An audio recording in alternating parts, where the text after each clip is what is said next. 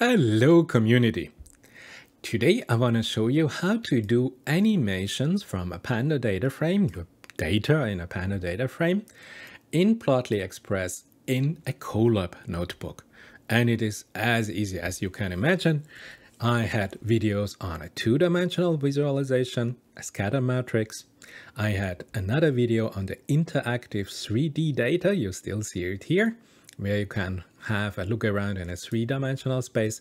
And today we're gonna have a look at and how to construct an animation of a Panda data frame and then send it off this interactive HTML file per email or you want to put it on your homepage so that everybody can use it in the interactive version. And we do install it in our Colab notebook with pip install upgrade plotly. We go for version 5.10 it is October 2022 and all we have to do is say import plotly.express as px. This is it, you're ready to go. You need nothing else for the interactive Colab notebook visualization. So here we go. At first, you know me, we load of, of course some data that have been prepared for us. We say, okay, Panda uh, Plotly Express data frame Gapminder. Let's have a look at this Panda data frame. What kind of data do we have? We're working here on the free CPU version so that we don't take away the GPU for anybody who's doing research.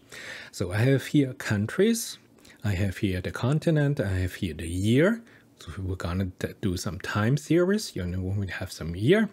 We have done data like life expectancy, the population size, the gross dom domestic product per capita, then we have some isonumeric values whatsoever. We do not need here any matplotlib inline or anything at all. It is so easy with the new version 5.10. I have now as a plotly express scatter. So I have a two-dimensional scatter plot. I have here my data frame, data frame underscore m. And then I say what is my X and what is my Y data axis and put here GDP per capita and here my life expectancy. The population size is the size of my data marker. The color should color code the continent. And if I hover over a data set or a data point with my mouse pointer, I want to have here the information in which country I am and the maximum size of our data points for our Colab notebook, I put at 60. This is it. So as you can see here, oops, let's put this away. We have at first an auto size functionality in Colab beautifully implemented. You do not have to care about the maximum size. If you open somewhere a field, you automatically have a rescale of your figure in Colab. So if you're working on a plane, on a bus, on a tram, on a plane, this is great. You can have the best visualization also on a small old notebook you are interactive. So if you go over the data you see exactly what data it is. Now as you can see here we have data of several years. And the years are represented, of course, in data point, but the data is not part of our X or Y axis, and it is not even time as a color coded our time. So this is, this calls for some animation if just to show you if you want to focus on something specific you want to have here detail you can zoom in it is interactive you can check out exactly what data points we have here. And you can get a better picture. If you want to go back we have here just the home symbol you are back home. If you make something stupid like i did here so you have here your zoom functionality with a click away on your colab notebook you just need a browser for data visualization. No other hardware at all. So great. This is it. And now we want to have some animation. And now all I have to do, I say again, I'm here with my scatter command with my panda data frame. I define my X and my Y axis data set like before. And then all I have to do is say animation frame is now my year. And my animation group is my country. This is it. The rest stays the same. So I want to have a frame by frame animation. So each other frame is year one, year two, year three, and I want to see the country. And then if you want to have a logarithmic scale or here an axis, you can say the log of underscore x is true. If you want to have a maximum size of your data point, and if you want to specify a specific range for the x and y, no problem, you can do this beautifully. And what you will get is, as I will show you in a second, take some seconds, but here is our visualization. This is what you get. We have here a data point. As you can see, we're here now in the starting year 1952. And let's, you have here a play button. So you have autoplay functionality for your animation. It runs through one time, it auto stops. And then you can click here and you can see here forward and backwards and whatsoever you want to do. Or you say, okay, start from here with the visualization and you have autoplay. Now the nice thing again, if you change any of the windows, there should be the scaling function. Not now. And this is your beautiful visualization that you can check out each year. You can have slow motion, whatever you like. You can see here that our x-axis 100, 1000, 10k and 100k is a logarithmic scale. So you can adapt it to your visualization needs. This is great. Now, Another thing I would like to show you if you say, okay, can I have this stacked? Because blue is here Asia.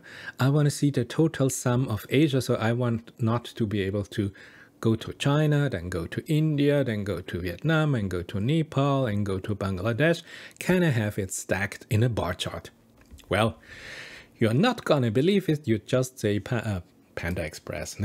it is Plotly Express. I wonder why I always think about Panda Express. Dot bar. So we have here our bars stacked together. We have again the data frame, our data data frame.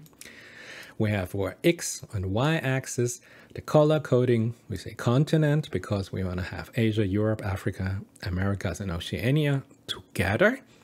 And then again, for the animation, you just have to put in two parameters. The animation year the animation frame is year and the animation group is country. You know why. So let's have a look at this. Of course, you start again 1952. Let's have a look at the autoplay functionality. Now you can see as here the time goes on to 2007, you can see here now the growth functionality depending on all countries in a continent. So you can see here how the different, the delta in the growth rate of Asia compared to Europe. And this is so nice. And of course, you can take this and send it off as an interactive HTML file for mail. Somebody can open it in a browser and he or she can just put here, press the play button, and they have an interactive visualization of the data in your data frame. How you do this? You say figure write continents interactive. So you have the write HTML command and then you just define an interactive uh, HTML file name. Here I have my continents. I download this. This takes about three to five megabytes and three to five seconds. It took 3.6 megabytes. And here is the HTML file. You can send it per mail and you have interactive. Can click here manually if you want to go back and forth or whatever you prefer to, or you have, of course, the autoplay functionality. This file can anybody with an access to a web browser can have this visualization on their laptop, on their computer, whatsoever. I hope you enjoyed it a little bit. This was now here almost our last point with, with Now, careful, Plotly Express, not Panda Express. And in the next video, if you're interested, you have a GeoVision. I will show you some interactive GeoVision with your data in a Panda data frame or a CSV file. And here for everything for two-dimensional visualization, you have your data in a Panda data frame, you have it in a CSV file, whatever, in the interactive case of 3D or in the animation case pandas data frames, CSV, JSON, whatever data source you have, you can do an immediate two-dimensional, three-dimensional interactive visualization. And if you have a time series, somehow you can do animations. And as I showed you here, it is just two lines of code and you have an animation you can show people are gonna prefer to a numerical view. And the next video, we have to keep the tension high. I'm gonna show you about a GeoVision we're gonna model some data on our globe, on our planet Earth. I say thank you for this time and I see you in the next one.